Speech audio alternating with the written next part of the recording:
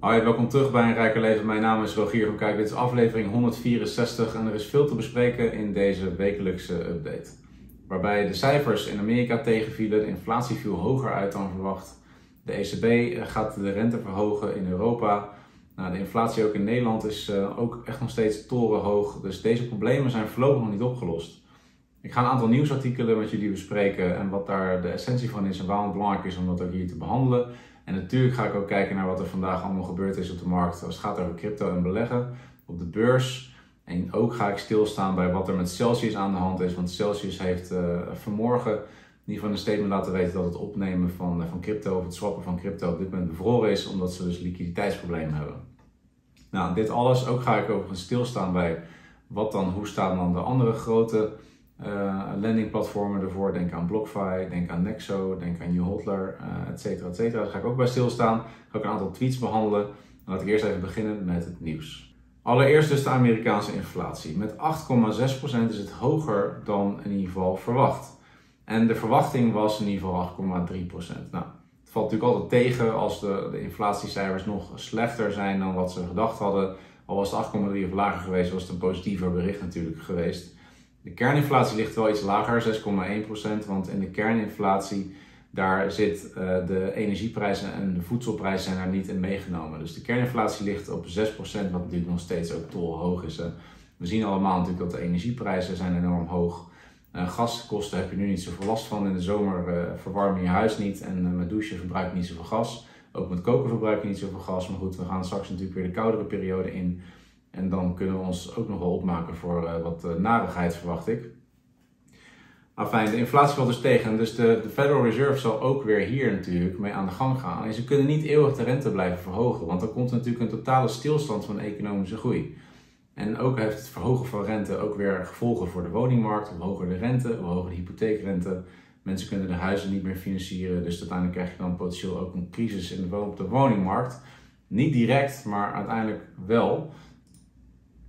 Uh, ook zie je natuurlijk in Nederland dat de hoge inflatie kan dus 1,2 miljoen huishoudens in de problemen brengen. Het is duidelijk dat niet alleen de lage inkomens, maar ook de middeninkomens moeite gaan krijgen met het rondkomen. Omdat natuurlijk voedsel wordt hartstikke duur, tanken is hartstikke duur, straks de gasprijzen zijn hartstikke hoog, dus het stoken wordt ook weer heel erg duur. Dus het is niet gek, maar het is ongelooflijk veel. 1,2 miljoen huishoudens in de problemen vanwege die hoge inflatie. Is echt, uh, echt ongekend. Nou, in Nederland is dus de inflatie gedaald naar 8,8%. Wat een enorm percentage natuurlijk te noemen is. Hè. We krijgen niet 8,8% rente op ons spaargeld. En nogmaals natuurlijk die hoogste rente, die hoge, uh, die hoge inflatie heeft dus vooral te maken met uh, de stijging van de energieprijzen. Uh, dat is een van de grootste factoren die we zien. En gas en olie is natuurlijk nog steeds een van de grootste boosdoeners. En als je dan hebt over hoe gaan we de winter tegemoet. Het is nog even geen winter, je bent misschien nog in de zomerblues, je denkt ik heb bijna vakantie. Maar toch, als we vooruitkijken naar die winter. Ja, oké, we zijn als Nederland ons heus wel aan het voorbereiden op dat we straks potentieel geen of minder gas uit Rusland krijgen. Of ook sowieso willen. Uh, maar ook uh, als we dus Russische energie gaan verbieden, dan betekent dat dus ook weer economische krimp. En dat betekent dus ook dat de prijzen van gas zeker niet snel lager zullen worden. Dus als je wat mij betreft ook nadenkt over het verduurzamen van je woning en je wilt bijvoorbeeld gasloos worden of minder gas gaan verbruiken, ja, kijk, uiteindelijk kunnen we er ook voor kiezen. De winters zijn niet zo streng in Nederland, dus je kunt je verwarming behoorlijk naar beneden bijstellen. Doe lekker drie truien aan, bij wijze van spreken. In plaats van straks 7, 8, 900 euro gaan betalen voor je gasrekening iedere maand. Dat we nou, zeker niet willen en wat ook heel veel mensen gewoon niet kunnen betalen. Op het moment dat we Russische energie zouden gaan verbieden, dan, uh, ja, dan komt daar gewoon ook weer een recessie over ons heen. En dat heeft dus zeker te maken ook met die geopolitieke spanningen die er zijn. Uh, en daarmee zitten we voorlopig nog niet uit deze economische winter, die we het echt wel zo mogen noemen. Nou, uh, als je het dan hebt over uh, rente krijgen op je spaarrekening, nou de ING zet een streep door de negatieve rente, maar we zeggen nou hè, hè want de rente wordt natuurlijk verhoogd. Dus nou, vanaf bij de ING kan je in ieder geval per 1 oktober 0% rente krijgen op je spaargeld. Maar ja, het wordt in ieder geval niet minder waard. Oh jawel, het wordt wel minder waard, want we hebben een hoge inflatie. Spaar, spaargeld is natuurlijk nog steeds. Alleen cash is wel king in deze situatie, want zeker gezien de economische crisis, de beurzen, alles staat in het rood. Crypto nog uh, meest heftige, kom ik zo meteen. Maar ook alle aandelen doen het eigenlijk ook vrij slecht. Dus als je cash hebt, dan kan je natuurlijk A, jezelf voorzien met cash en B, straks als de ergste dip voorbij is, als het wat rustiger vaarwater wat echt nog wel een tijdje gaat duren, en dan kun je die cash ook weer gebruiken om te herinvesteren. En op lange termijn heb je dus daar weer kans op, uh, op hoger rendement. Maar op dit moment zit dat er gewoon uh, voorlopig niet in, wat mij betreft. Enfin, 0% rente in ieder geval bij de ING. Nou, dan natuurlijk het bericht waar vele, ook veel berichten over gekregen vandaag en terecht. Ik heb zelf ook een account bij Celsius overigens. Uh, is dat ze op dit moment de opname, het swappen van crypto en het versturen tussen accounts, dus je kan er dus niet vanaf Celsius naar een andere account, bijvoorbeeld je Bitfavo account of je, je cold storage of wat dan ook, kan je dus op dit moment niet doen. Dus de, de funds die jij op dit moment hebt staan bij Celsius zijn uh, in die zin niet bevroren, want de waarde fluctueert nog steeds. Hè? Als crypto de waarde daalt, wordt je portefeuille minder waard. Uh, ja, dit is dus een van die zaken die dus absoluut niet wil dat er gebeurt. Want de Cell token, die is ook echt volledig gedecimeerd. Het vertrouwen in zo'n bedrijf, ja, dat, dat staat op losse schroeven. We hebben gezien bij eh, Luna natuurlijk en bij de stablecoin US, US Terra munt dat op het moment dat vertrouwen weg is uh, bij een bedrijf of bij een blockchain of bij een stablecoin, ja, en mensen gaan dan vervolgens een bankrun doen, dan is zo'n bedrijf gewoon weg. En Celsius zou uh, kunnen dat op het moment dat ze weer dus de opnames, het swappen en de transfers weer gaan uh, openstellen, beschikbaar stellen, dat mensen gewoon denken, ja ik moet hier weg, want anders ben ik straks potentieel al mijn geld kwijt. Uh, dus ja, weet je, hoe groot is nu het risico dat je echt je geld kwijt bent bij Celsius? Daar is op dit moment nog geen sprake van. Uh, ik blijf dit volgen. Ik, ik weet niet hoe dit af gaat lopen. Ik, kan het, ik, ik heb geen glazen bol.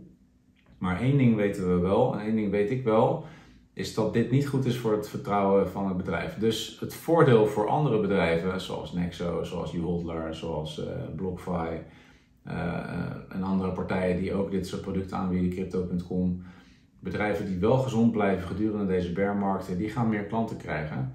En in de volgende boeren, dan doet iedereen natuurlijk hartstikke goed. Alleen landingplatformen, hè, waar jij dus liquiditeit neerzet, zoals bij Celsius, en een hoge rente krijgt. Hè, dus eigenlijk lever jij vermogen aan wat dat bedrijf kan, eh, kan investeren, bijvoorbeeld traders mee kan financieren.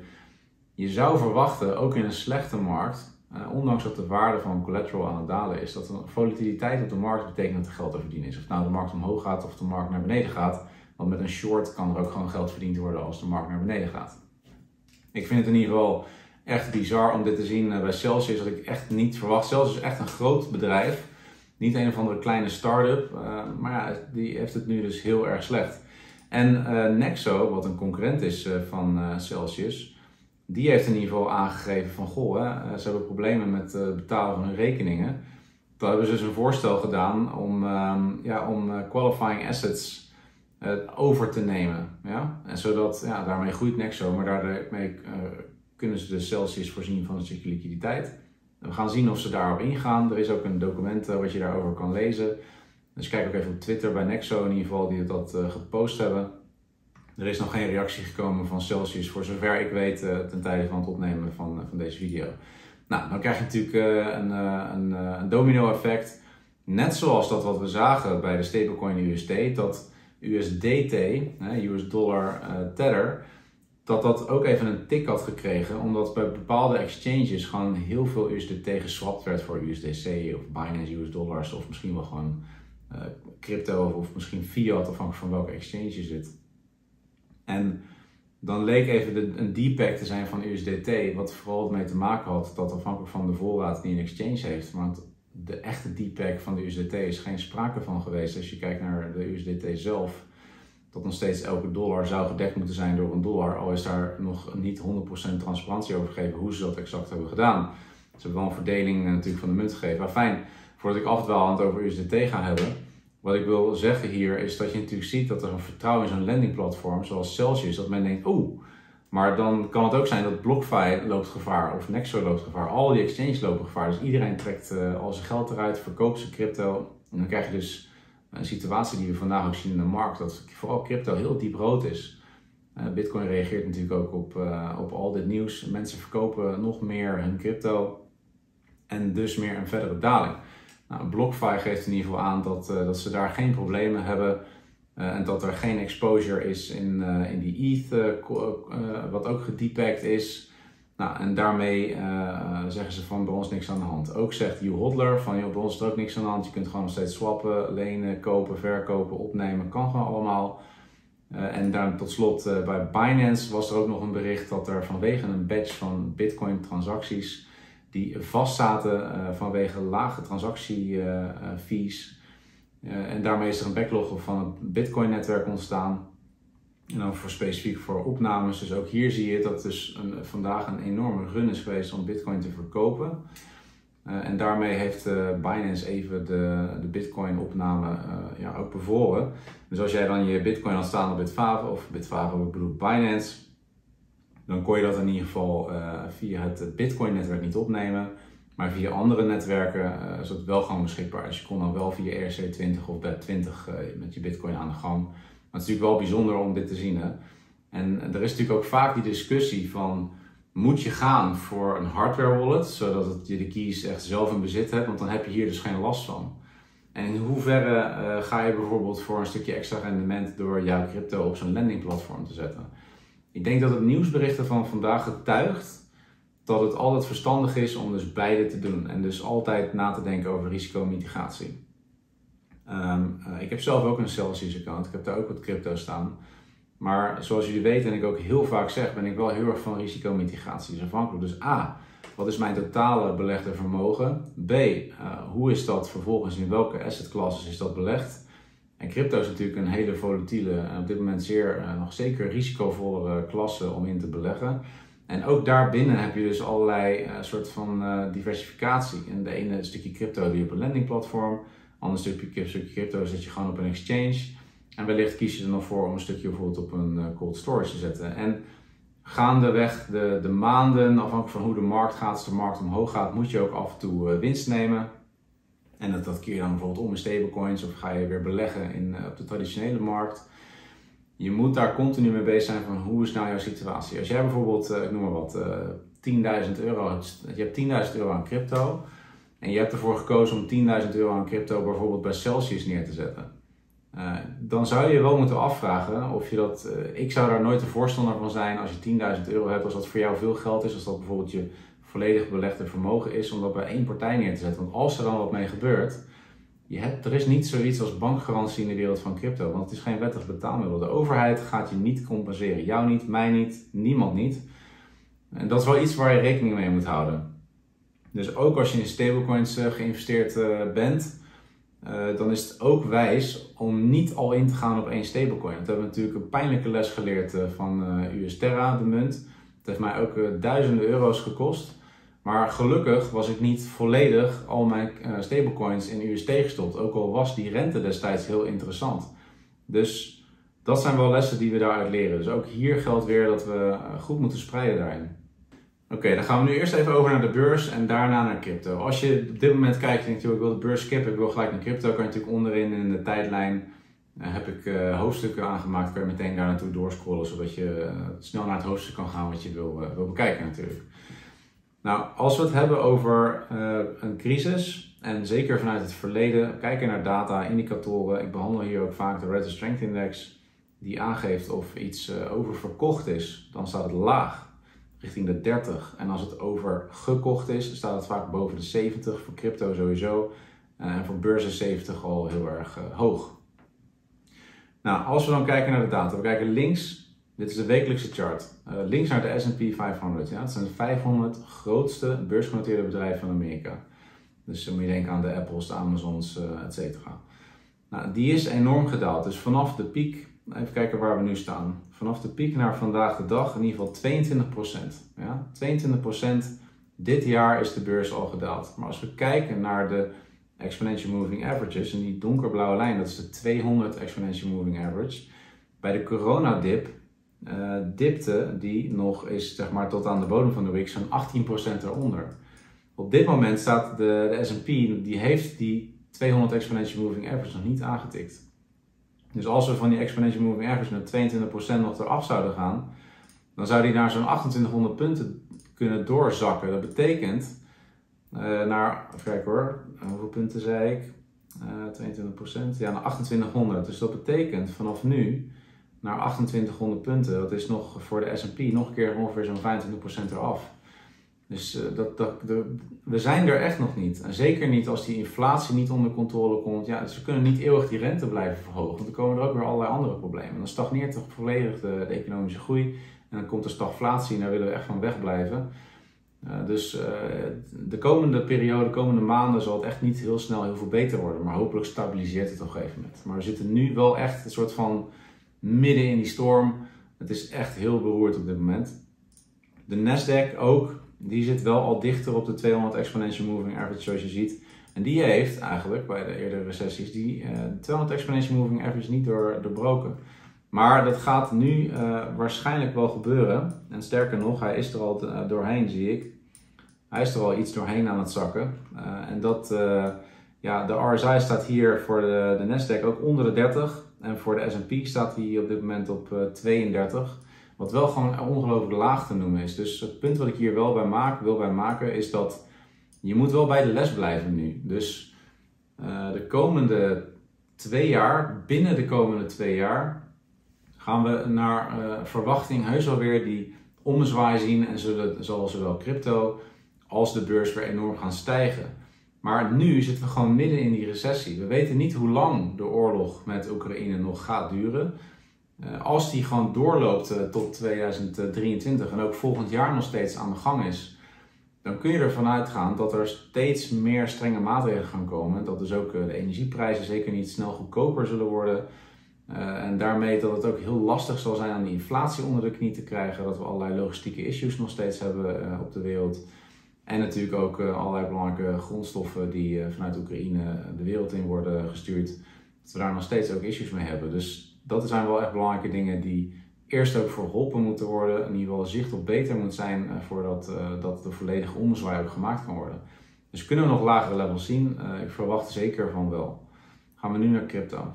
En dan begin ik even met eh, de grafiek voor de totale market capitalization voor crypto. Ja, dus dit betekent, dit is de totale waarde van alle cryptomunten bij elkaar. Die zit op dit moment op 922 miljard dollar. En die is daarmee dus wel door een belangrijk niveau gezakt van 1,28 eh, eh, miljard dollar. En het is al een paar weken zo. Hè? Onze wekelijkse sluiting afgelopen week was er ook al een, daling van zo'n 13% geweest. En nu is de week net begonnen en praten we nog een keer over een daling van 13% op de eerste dag van de week. En er is dus heel veel uh, FUD in de wereld. Hè? Er is fear, er is uncertainty en er is doubt. Dus er is angst, onzekerheid en twijfel. Uh, en als we dan kijken naar de chart, naar de data van het verleden, dan zien we in ieder geval dat de cryptomarkt nu uh, op zoek is naar in ieder geval de laatste all-time high van uh, begin 2018, eind 2017. En die is op de wekelijkse in ieder geval zo'n 690 miljard. Ik roep het ook al een tijdje op mijn channel. Dat op het moment dat hij hier niet gaat houden, die 1,28 biljoen US dollars, dat de kans dan echt wel aanwezig is dat hij opnieuw gaat zoeken naar ja, zeker die vorige all-time high. En als hij ook dat niet gaat houden, dan natuurlijk nog verder gaat zakken. Maar dit zou een aardige geval zijn. En vanaf hier is dat uh, qua percentage nog een keer 25%. Nou, we hebben net gezien dat als op de beurs echt nog heel, echt heel slecht zou gaan, dan kan je ervan uitgaan dat crypto het minimaal zo slecht gaat hebben, maar vaak slechter. Want crypto daalt nu harder dan dat de beurs aan het dalen is. Ja?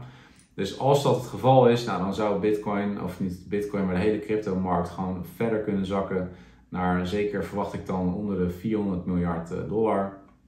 En als ik daarover nadenk, natuurlijk, je huidige portefeuille, in hoeverre die al niet gedecimeerd is, is dan, daar is helemaal echt weinig van over. Ja?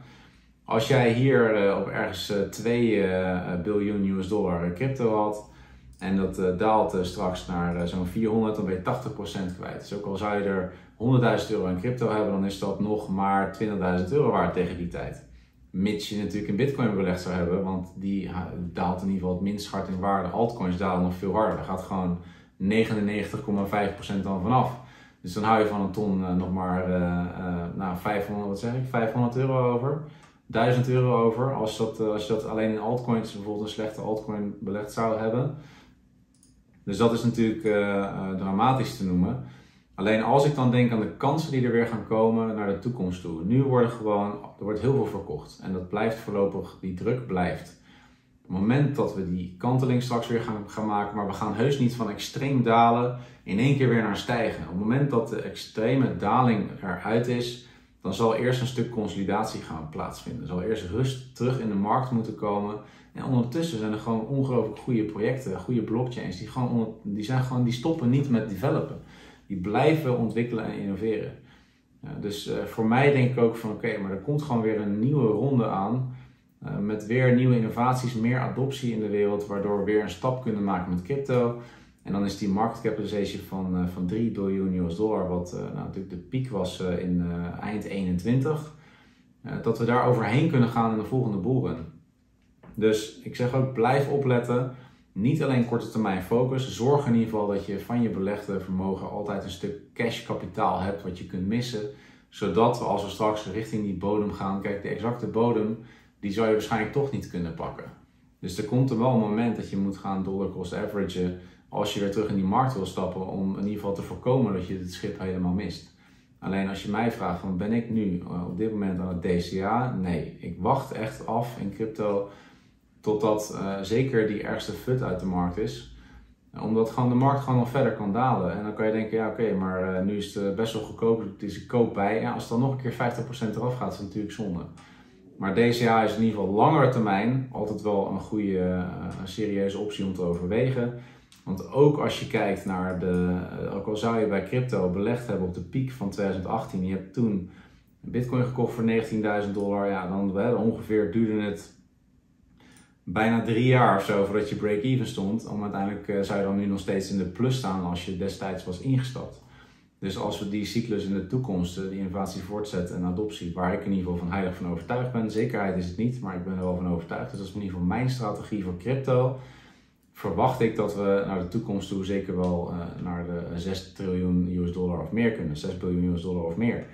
Dus alles wat je in theorie dus nu koopt, zou dus in de toekomst meer waard zijn.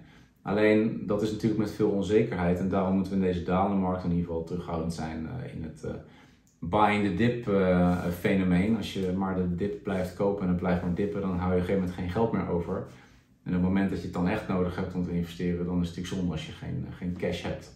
Nou, hoe zit het dan met de dominantie van Bitcoin? Nou, die was heel hard aan het stijgen en je ziet dat hij nu wat aan het inleveren is. Dus vandaag de dag levert Bitcoin een kleine 2% in aan dominantie. Bitcoin heeft gewoon een dreun gekregen vandaag op maandag in ieder geval. Ook natuurlijk het bericht eh, van Celsius heeft ervoor gezorgd dat er in de crypto space weer veel onrust is, veel verkoop en daarmee dat de prijzen, ja, de markten lopen daarmee leeg. Bitcoin heeft daar niet van geprofiteerd in de zin van dat Bitcoin langzamer aan het zakken is dan de rest van de markt. Dus daarom is de Bitcoin iets naar beneden bijgesteld nu, een dominance van onder de 47% eh, je kunt wel verwachten dat in de komende periode, als de crypto nog steeds wat gaat zakken, wat wel mijn verwachting is dat het nog even zal blijven zakken. Als Bitcoin gaat stabiliseren, dan zal dus de dominantie gaan toenemen van Bitcoin en dat altcoins gewoon wat harder zullen blijven bloeden ten opzichte van, uh, van Bitcoin. Dus dat kunnen we dan in die chart hier gaan zien. En op het moment dat dan uiteindelijk als de dominantie van bijvoorbeeld boven de 50% of zo zou zijn van Bitcoin, of het gaat uiteindelijk eh, afvlakken naar beneden, dan zou het een goed moment kunnen zijn om weer uh, wat te investeren in uh, altcoins, uh, als denk ik daar in ieder geval over. Ja, waar staat Bitcoin dan nu? Nou ja, onder de 23.000 dollar. Nou, mensen die mij al langer volgen, die weten dat voor mij, als op de weekly er een, een candle gaat sluiten in dit, deze gouden box, dan moet ik heel erg gaan opletten want dat betekent dat er dus veel crypto ook te koop is voor echt wel behoorlijke bodemprijzen. Nou, we zien nu dat die daar keihard doorheen gezakt is. En hoe kom je aan die gouden box, eh, zou je misschien eh, denken. Nou, dan pakken we een indicator erbij. Dat is de, de Logarithmic Rainbow Chart. Met uh, allerlei fit levels hier ingetekend. En nou biedt het verleden natuurlijk geen garantie voor de toekomst. Maar het verleden, als we kijken naar bullruns en bearmarkt, is die witte lijn toch altijd wel weer de basis geweest waar de cryptomarkt uh, op terugkomt. Alleen ja, volatiliteit is er altijd. Als er crisis is, recessie is, paniek in de markt is, waardoor je dus van die enorme koersvallen kunt krijgen. En, en zelfs zo'n wick naar beneden, waarna weer opgekocht wordt, voordat we uiteindelijk weer een stijging ingaan. Nou, op basis van deze data uh, kwam ik in ieder geval uit dat dus het, level van 28.500 dollar en 25.500 dollar maar hier zien we ook dat uh, in ieder geval voor een korte periode uh, zo'n wick kan ontstaan. Nou, de week is pas net begonnen. Dus het kan best zijn dat die wick uh, van Bitcoin deze week richting die 19.000 dollar gaat. En 19.000 dollar hoeft, ja, dat kan wel de bodem zijn, maar het kan ook tijdelijk nog even iets lager doorschieten voordat het weer wordt opgekocht en uiteindelijk weer een realistisch prijslevel wordt uh, gevonden. Hoe dan ook, hoeveel dagen, weken Bitcoin in dit gebied gaat verkeren, gaan we natuurlijk meemaken. En uh, wat ik wel in ieder geval ga doen, is als Bitcoin natuurlijk, stel dat hij naar de 19.000 dollar gaat, dat zou voor mij wel een moment zijn om weer te gaan DCA in Bitcoin. Omdat ik daar wel in geloof in heb naar de toekomst toe voor een deel van mijn portefeuille. Dan heb ik met mezelf afgesproken dat dat niet prijsniveaus zijn uh, die, wat, ja, wat echt interessant is om Bitcoin bij te kopen. En ja, kan die nog verder zakken? Ja, natuurlijk. We zagen hier in ieder geval in 2020 uh, in ieder geval een bodem van onder de 4000 dollar. Nou, verwacht ik alleen niet. Ik denk dat het zeer onrealistisch is dat Bitcoin dat soort prijsniveaus gaat halen, omdat de adoptie is gewoon verder. Er zijn hele grote bedrijven geïnvesteerd uh, in crypto. Je kunt inmiddels wereldwijd ook met veel meer platformen zoals PayPal enorm mee betalen. MicroStrategy zit er voor miljarden in. Tesla zit erin voor miljarden. Er zitten heel veel partijen voor, voor miljarden dollars al in Bitcoin. En daarmee is, ligt de lat sowieso hoger. Dus daarmee verwacht ik dat de kans dat Bitcoin teruggaat naar 3000 dollar, dan moeten die partijen allemaal gaan uitstappen. Dan, zou dat, dan kan dat zeker. Als het niet gebeurt, zal de prijs van Bitcoin gewoon veel hoger blijven. En zodra er naar de toekomst toe meer, nog veel meer institutionele beleggers bij gaan komen, dan zal de prijs van Bitcoin uiteindelijk heus wel die zes cijfers gaan aantikken. En Ethereum heeft het dus zwaarder dan Bitcoin. Als je kijkt naar hoe Ethereum, hoe hard Ethereum gedaald is eh, de afgelopen weken.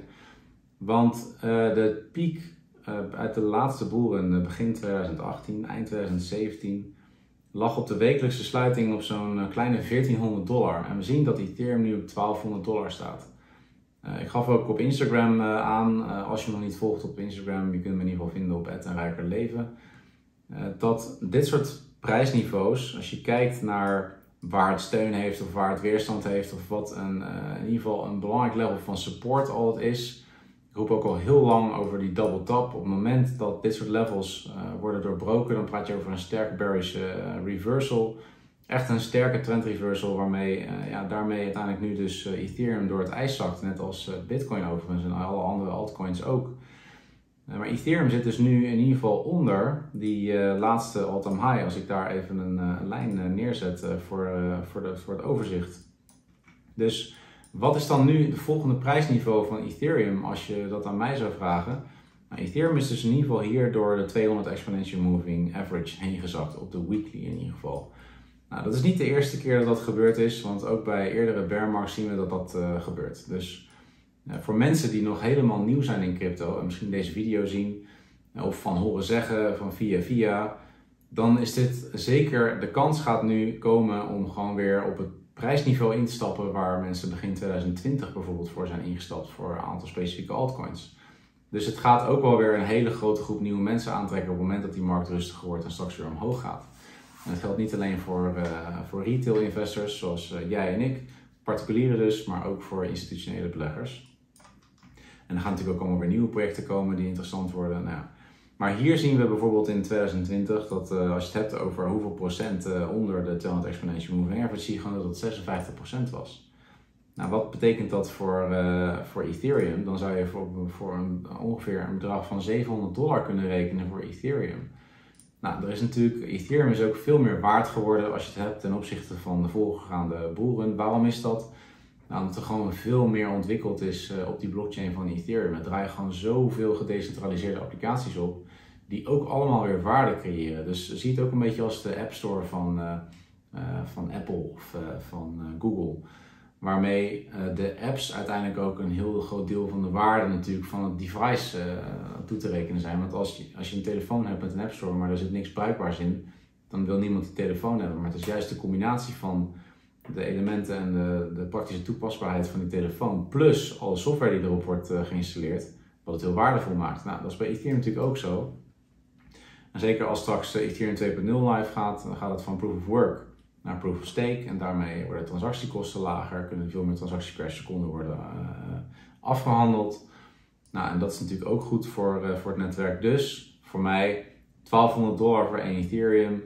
Ik weet nog dat ik uh, in, wanneer was dat? Dat was 2020. Toen ik op een gegeven moment nog weer Ethereum ging bijkopen, toen had ik, verkocht ik wat aandelen, had ik Ethereum bijgekocht. En gaandeweg naar de top heb ik ook wel wat Ethereum verkocht om weer om te zetten in stablecoins of weer terug te investeren in ETF's bijvoorbeeld. Uh, waar ik heel goed op slaap, want die dalen ook wel, maar natuurlijk niet zo hard als uh, de rest van de, de, de markt. Nou fijn, uh, Ethereum dus zou wat mij betreft zo daarmee terug kunnen gaan naar bijvoorbeeld zo'n prijsniveau van zo'n 700 dollar. gaat het ooit weer terug naar een prijsniveau van onder 100 dollar? Dat acht ik zeer onwaarschijnlijk.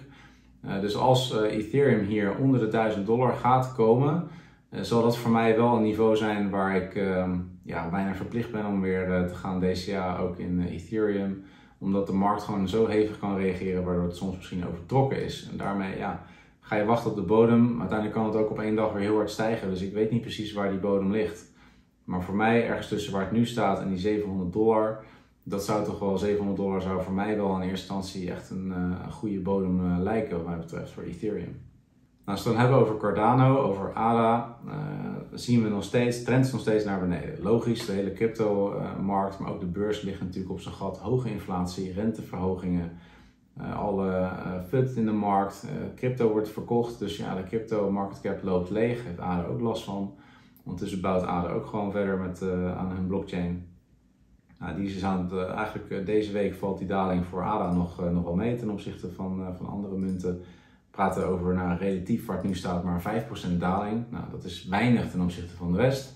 Maar de trend is natuurlijk nog wel nog heel sterk naar beneden. Want vanaf de all-time high zit ADA toch over een 85% daling praat je dan. Dus die flirt met die 40 dollar cent grens, die op de weekly wel van significante betekenis is in ieder geval. Dus de vraag is ook even of ADA hier gaat houden. Als ADA hier kan houden, voorlopig. Uh, maar ik denk wel, dit wordt echt een zware week. Dit wordt wel de week van de test. Uh, in hoeverre we dus bijvoorbeeld Bitcoin naar die 19k dollar gaat. Of dat Ethereum onder de 1000 dollar zakt. Of dat ADA dus ook onder die 40 dollar cent gaat zakken. Maar we zijn pas één dag onderweg en dan kan er van alles gebeuren deze week. Dus ik ben benieuwd hoe het richting het einde van de week in ieder geval de consolidatie is van de paniek die in ieder geval vandaag op de markt uh, gekomen is kan zeker één of twee dagen duren voordat het weer wat consolideert. Dus het zou me ook niet verbazen dat we ergens in de week nog een 20% gain eh, gaan zien op de cryptomarkt. Alleen als de markt dus zo hard gedaald is, dan is die 20% natuurlijk eh, nog zeker niet genoeg om je verlies van de afgelopen dagen goed te maken. Nou, op het moment dat ADA niet die 40 cent gaat houden, dan gaan we natuurlijk weer moeten kijken naar, oké, wat zou dan weer een, eh, een lager prijsniveau zijn? Ja, en dan wat mij betreft praat je dan toch wel snel over 17 dollar cent ongeveer. En die regio waar ik dan naar zou kijken als volgend target. En uh, ja, dat zullen we moeten zien. Uh, wat mij betreft uh, uh, zou ik het erg vinden als ADA naar 17 dollar cent gaat of nog lager. Ja, voor mij zou dat denk ik ultieme momenten zijn om weer te plussen. Dat je ten opzichte van waar ADA stond, naar waar het dan nu staat, weer aardig goed zou kunnen dollar cost averagen. Maar we moeten niet blind zijn voor alle projecten die we in de afgelopen twee jaar behandeld hebben en gezien hebben of die naar de toekomst toe allemaal nog even goed zijn. Ja, maar daar zal ik apart nog even een video over maken. Als we het hebben over alle, heel veel projecten die hier behandeld zijn ten opzichte van nieuwe ontwikkelingen, hoe die zich verhouden en wat daarmee de kans naar de toekomst toe is.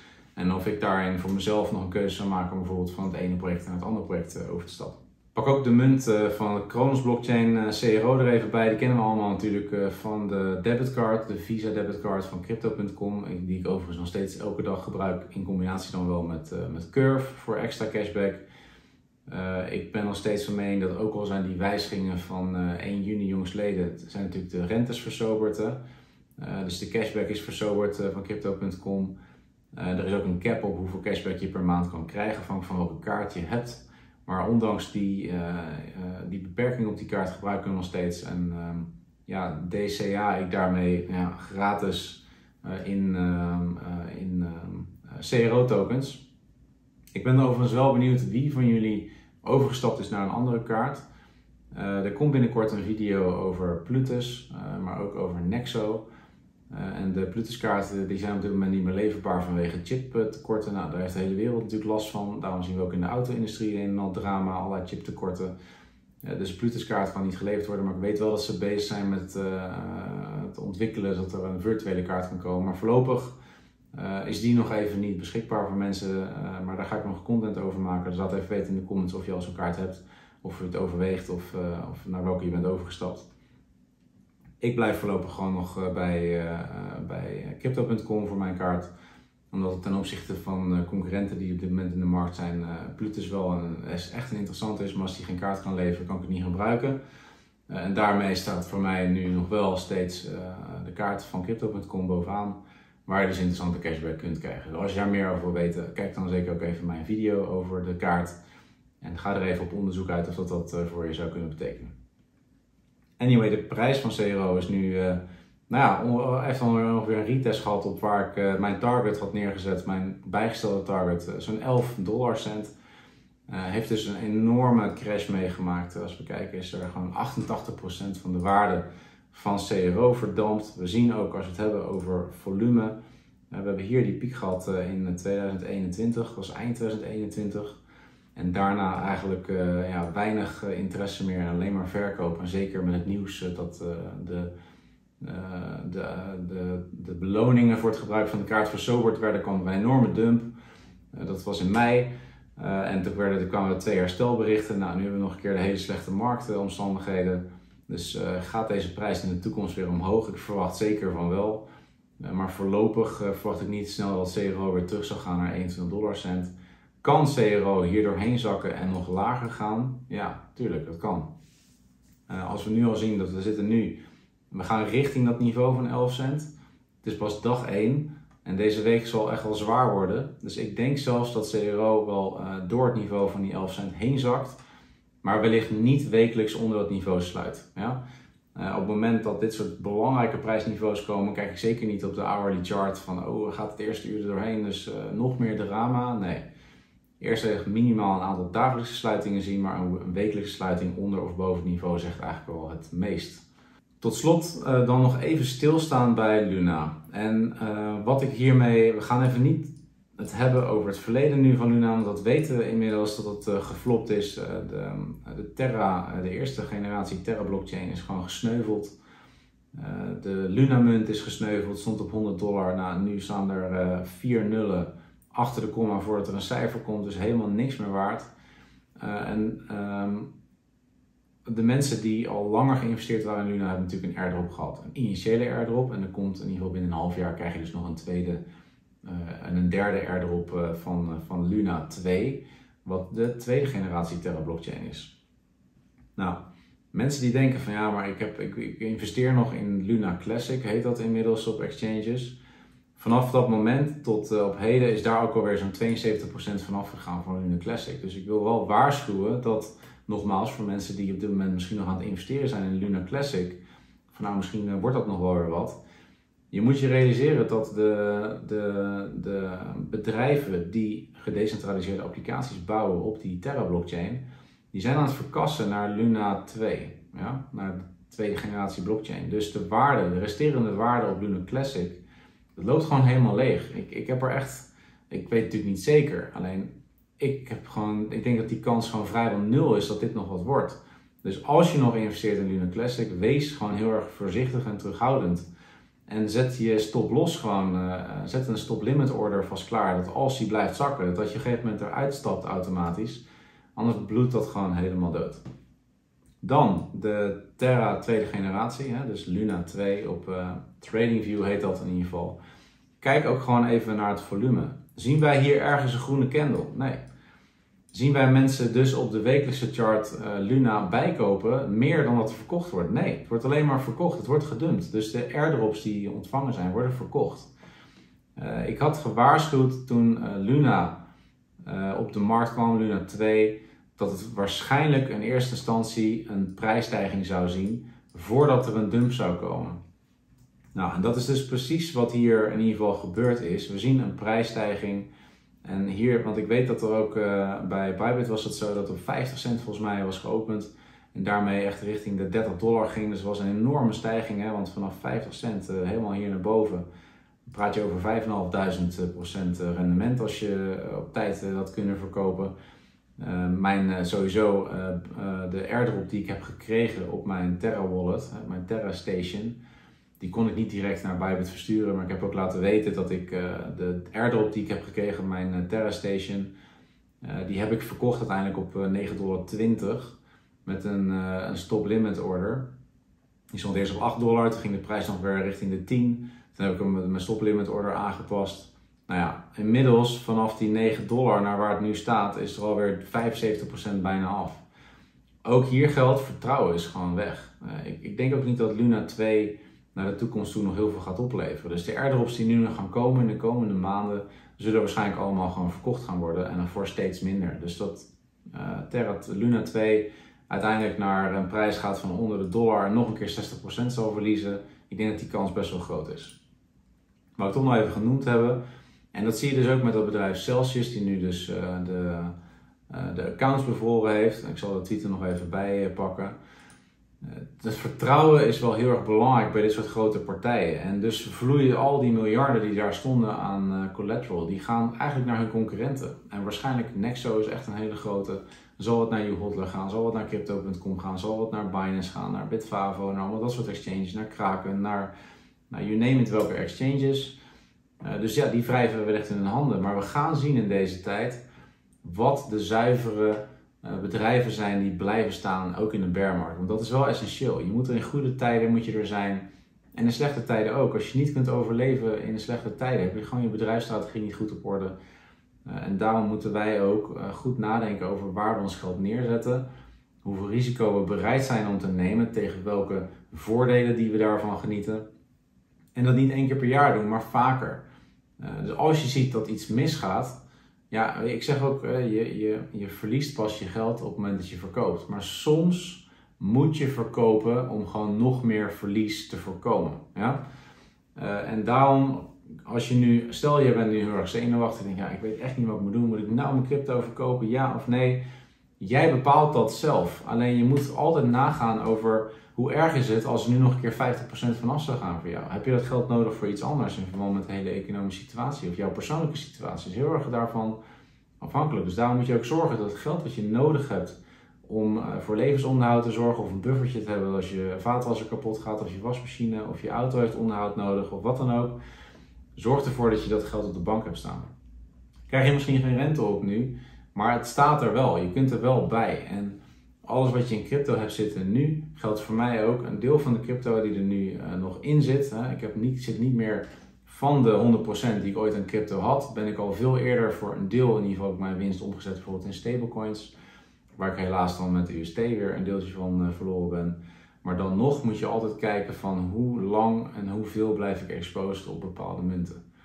Uh, en er gaat altijd wel weer een tijd komen dat het beter gaat. Dat zal in de toekomst ook zeker zo zijn. Als je vijf jaar, als we vijf jaar verder zijn dan nu in 2027, dan weet ik, ben ik er echt van overtuigd dat crypto wel echt weer een stuk hoger staat. Dus je kan ook gewoon denken, ja, ik blijf gewoon zitten. Uh, en dan komt het vanzelf wel weer goed. En daar denk ik ook dat dat zo is. Dus een deel van mijn portefeuille laat ik ook gewoon staan. Dan gaat uh, de hele crypto market capitalization naar 100 miljard. Ja, dan is natuurlijk is die portefeuille dan niet meer zoveel waard. Maar over een periode, langere periode, 10, 15, 15 jaar, ik heb de tijd. Uh, verwacht ik gewoon dat dat veel hoger is dan nu. Dus dat is in ieder geval mijn eigen strategie en visie. Waarbij ik wel continu kijk van hoe ben ik blootgesteld, uh, tegen welk risico ben ik geaccepteerd om te nemen ten opzichte van mijn financiële uh, well-being. en daarmee pas ik continu ook mijn, um, ja, dus ook mijn, mijn portfolio aan. En dat is altijd goed om voor jezelf ook te doen. Als jullie nog daar expliciete content over willen, uh, kan ik daar dan wat langer over doorpraten hoe ik er naar kijk. En uh, kan ik daar wat betekenis bij maken, een percentage meegeven. Als je er geïnteresseerd zijn, laat het maar even weten in de comments. Als we dan nog even teruggaan tot slot, uh, pak ik even de chart van Bitcoin erbij. En waar, ja, waar, waar kijken we gewoon nu naar? Wat is nu even voor deze week belangrijk? Ik denk dat uh, laat die, die, die diepe angst maar gewoon even, laat hem maar even razen. Als Bitcoin terug gaat naar die 20k, dan gaat een bounce komen. Er moet ergens een consolidatiemoment zijn. En zo'n consolidatiemoment is waar we goed moeten kijken naar de markt. Wat doet de economie? Uh, wat doet, wat, hoe is de geopolitieke situatie? Hoe gaat het met Rusland, Oekraïne? Hoe zit het met COVID? We gaan ook weer, ja, vinden we allemaal niet leuk. Maar aan het eind van het jaar, als iedereen weer zit te snotteren, gaan we allemaal weer corona krijgen. Wat gaat dat vervolgens weer doen met de economie? Gaat iedereen weer thuis moeten zitten? En dan komt er weer een uh, golf aan, uh, wat ook weer niet goed is voor de economie. Dus het wordt nog een zwaar jaar 2022. Dus zorg ervoor dat je financieel gezond blijft. Ja? Ga niet te veel nu denken, oké, maar kan nu een mooi ritje maken met crypto of met beleggen. Wees gewoon voorzichtig. Als je het doet, doe het berekend en maak afspraken met jezelf wanneer je eruit stapt, zodat je niet al je geld potentieel verliest of een heel groot deel daarvan. Uh, dus uh, ja, pas in ieder geval goed op jezelf en uh, we zullen gewoon door moeten werken de komende periode. En hier komen we wel weer doorheen. Dus ja, we, zullen het gewoon, we kunnen niks anders doen dan toekijken wat de markt voor ons verder in petto heeft. en gewoon goed onze strategie blijven herijken en rustig blijven. Niet emotioneel worden, maar gewoon rationele keuzes maken. Ik wil weer heel erg bedanken voor het kijken. Mocht je nog niet geabonneerd zijn op een Rijker Leven, vergeet je zeker niet te abonneren. Wens je nog een hele mooie dag en ik zie je snel weer terug in de volgende video. Tot ziens.